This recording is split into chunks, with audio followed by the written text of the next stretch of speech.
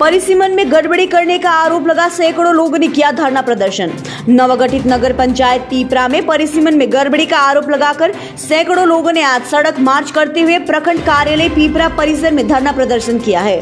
धरना में शामिल लोगों का कहना है कि परिसीमन में शिकायत के लिए उनसे आपत्ति तोली गई, लेकिन उस पर कोई विचार नहीं किया गया, जिससे वार्ड नंबर एक, दो, तीन और चार के लोगों को भारी कठिनाइयों का सामना करना पड़ रहा है। कहा कि वार्ड के परिसीमन में गाँव की भौगोलिक स्थिति और आबादी को दरकिनार करते हुए राजनीति से प्रेरित होकर लोगों को परेशान करने के लिए गलत तरीके से परिसीमन किया गया है। कहा कि जिस तरह से परिसीमन किया गया है, इसमें लोगों को काफ़ी दूर वोट गिराने के लिए जाना पड़ेगा। जबकि विभागीय निर्देशन के अनुसार परिसीमन कर एक गाँव जिसकी आबादी पूरी भी है और उसकी भौगोलिक स्थिति भी परिसीमन के लिहाज से इस गाँव के लोगों को जानबूझकर दूसरे गाँव में जोड़ दिया गया है। स्थानीय लोगों ने कहा कि इस बात की शिकायत कई बार की गई कि वार्ड के परिसीमान में सुधार किया जाए, लेकिन कहीं किसी ने ग्रामीणों के मांग को नहीं सुनी। लिहाजा थक हार कर लोगों ने आज धरना देकर अपनी मांगों का ज्ञापन अधिकारी को सौंपने की बात कही। सुपौल से हमारे संवाददाता एम डी नजीर आलम की रिपोर्ट। वो बार बार सब जगह अपना प्रतिरोध व्यक्त करते रहे एसडीओ साहब, पता नहीं हम लोगों से क्या दुश्मनी था उनको। एक एक शब्द में हम लोगों को कहा कि आप लोगों का आवेदन ही निरस्त कर दिए गए हैं। इसके अगेंस्ट में हम लोग कमिश्नर साहब यहाँ गए कमिश्नर साहब सीएम साहब को चिट्ठी लिखे हुए हैं, लेकिन अभी तक कोई सुनवाई उस पर नहीं हुई है। लाचार होकर के हम लोगों को रोड को उतरना पड़ा है। और मैं प्रशासन?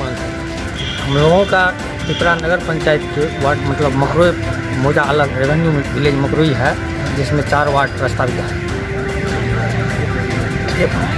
वार्ड नंबर एक, आनंदी पट्टी। अभी वर्तमान में उसकी जनसंख्या 1670 वो लोग दिखा रहे हैं। लेकिन उसका जैसे देखिएगा भौगोलिक स्थिति देखिएगा वो जनसंख्या 1300 के आसपास होता है। बाकी जो है, दिखाने के लिए दिखला दिया है, बीस से काट दिया गया है। उसको काट के मकरोई मिला दिया है। आ मकरोई का जो है, वो भाग काट करके वहाँ मिला दिया मिला दिया गया। जबकि वह आनंदी पट्टी स्वतंत्र अगर रहने दिया जाता है, सोलह सत्तर वोटर होता है।